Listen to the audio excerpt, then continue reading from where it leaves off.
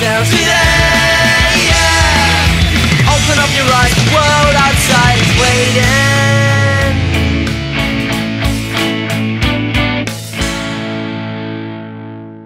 Mm.